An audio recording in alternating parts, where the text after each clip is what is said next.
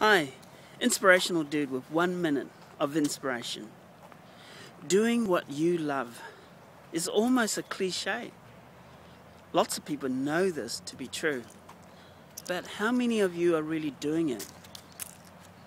How important is it to be doing what you love? My belief, it is everything.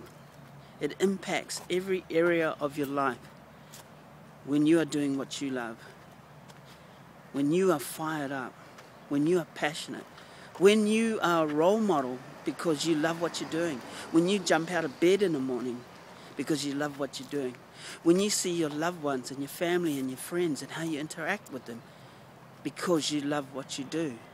Doing what you love is about love. It's about loving yourself.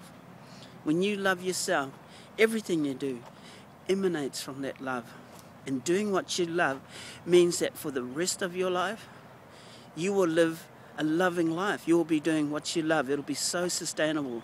It's not going to be easy, but it will be simple because it's close to your heart. And yes, eventually it will be easy because for now, you have to pay the price of doing what you love.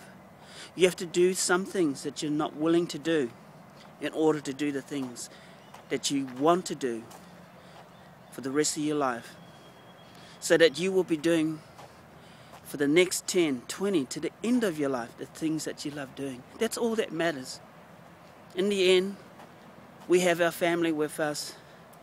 In the end, our loved ones. In the end, our heart. And we will be saying to ourselves, Did I do what I loved?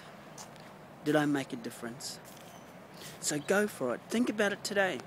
Take time out just to think about what is it that I love doing? What do I want to be doing for the rest of my life?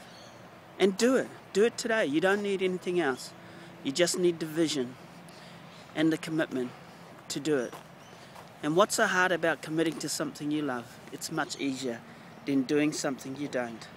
One minute of inspiration. Cheers.